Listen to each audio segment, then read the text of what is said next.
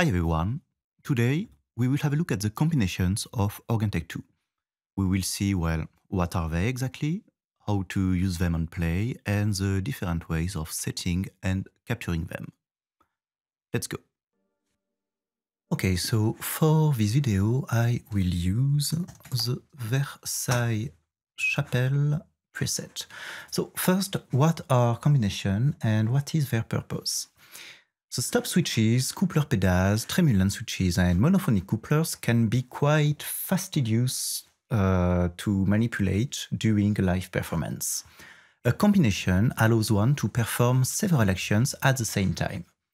It is a pre-recorded state of stop switches, couplers, tremulant, and monocouplers that you can trigger all together at any time.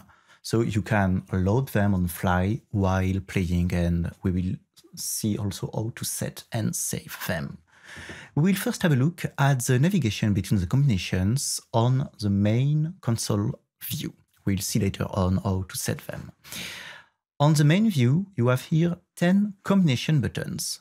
This uh, clicking on one of these buttons will load a combination.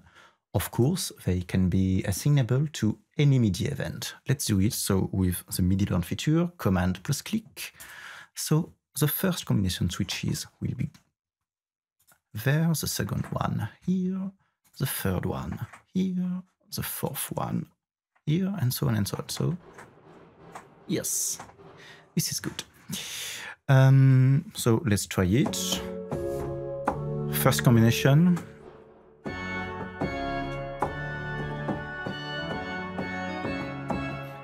Third one.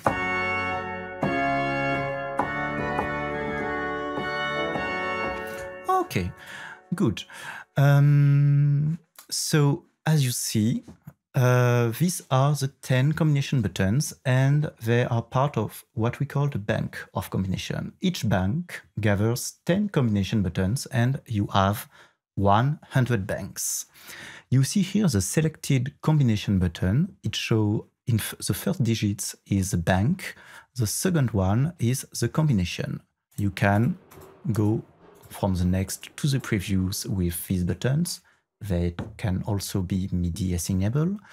Note that if you are on the 10th combination, going to the next combination will go to the next bank. So here, the number 2.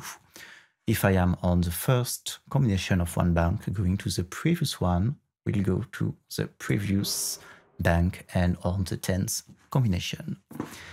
A few words about the pending bank button. Uh, so the, these digits represent the bank and the pending bank that we want to go uh, while clicking on a combination switch. For instance, you will see that changing the pending bank will not trigger any combinations. You need to further trigger a combination by hand to go to the pending bank. For instance, this switch will let me go to the 9 bank combination 2 and you see here that the select combination is indeed 9.2. Let's go back to the first bank. On the jump view, so keyboard shortcut G, the combination buttons are here the next and previous combinations are here, and this is the pending bank. Let's go back to the first one. So uh, I think that's it for the main GUI view. So let's now have a look at the combination panel settings. This is where you can set and save your combinations. The keyboard shortcut is B. So as I said, the combinations are stored into banks of 10 combinations each. There are up to 100 banks, so this is the subpanel of the bank. You can copy and paste them, you can move them, insert them, etc., etc. So the top panel here represents the 10 combination buttons of the current selected bank, so highlighted here. You can select a combination by clicking on its number, next, previews, you can also copy and paste, and you can also rearrange these combinations with a simple drag and drop. For instance, let's switch the number 2 with the number 5. Okay, this is it. The main panel here gathers all your organ items. The stop switches, sorted by division, swell, great, core, and pedal, as well as the couplers, monophonic couplers, and the tremulants here. In front of each item is the associated combination action. A combination action basically turns all switches on or off. On here and off you'll see that if I activate the fifth combinations, the swell will be on for the gambe and the flute harmonic and all the other switches will be off. There is a third action available, which is the none option. The none option. For instance, all the couplers here are set to none in the combination 5. It means that none of the state of the couplers will be changed when I will change the combination. So this allows you to modify only a subset of switches. The usual multi-selection features are implemented, so we saw them on the tremulant and expression pedal uh, video tutorial, but very briefly, a brief recap, you can select a wall division by clicking on its name, if you want, for instance, for that combination to have all the stops to off or to on or to none. You have also the classical keyboard shortcut uh, multi-selection. So this, this, this to select only a small subset of these. Let's go back to the first combination. So we just saw how to manually edit this way your combination actions. There is also another way to directly capture your combinations from the main console view or the jam view. This is done with the set button right here. The main idea is that when the set button is on, so highlighted in white here, clicking on any combination button will capture the current state of the organ into the combination. Let's do it briefly, for instance. So set is on, I click to the first combination, and you will see that combination one bank, sorry, one combination is captured and we'll see the capture settings.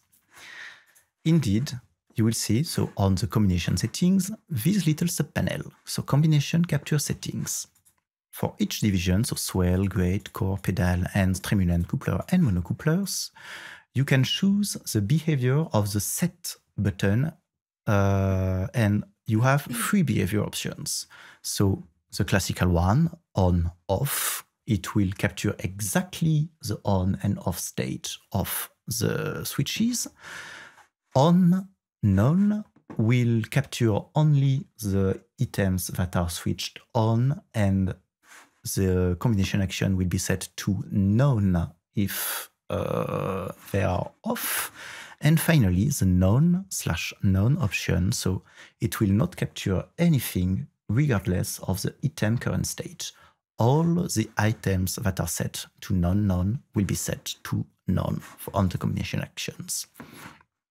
As a small visual aid, you'll see that the, when the set button is on, uh, the highlight orange will show you which items are captured. For instance, the swell here is set as non-non-behavior. It means that the uh, stop switches that are on or off will not be captured. For instance, I capture the one, the combination number one, you will see that on the first combination, all the items of the swell are set to none. For the great, you will see that the highlight is both on the stop switches that are on and off. It means indeed that the combination capture settings behavior on the grate is on off. And for the monocouplers, they are here not highlighted, but if I want to switches to switch some of them on, they will be uh, captured as on and the two other one will be captured as off. let's do it. And you'll see indeed that the bass and the core monocoupler are set to on and the other two are set to none. There is also a small uh, visual indication on the jam view, so keyboard shortcut J. The set button is on, and so you will see that none of the swell stop switches will be captured. All the stop switches on and off of the great core and pedal will be captured.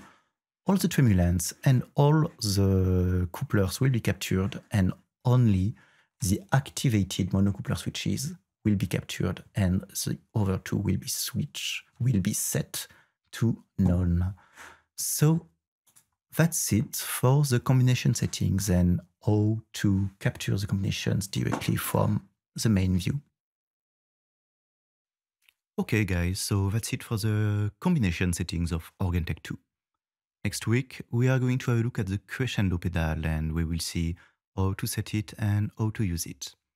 Until then, once again, do not hesitate to listen to some Organteq 2 audio demos on our website. And see you next week. Cheers.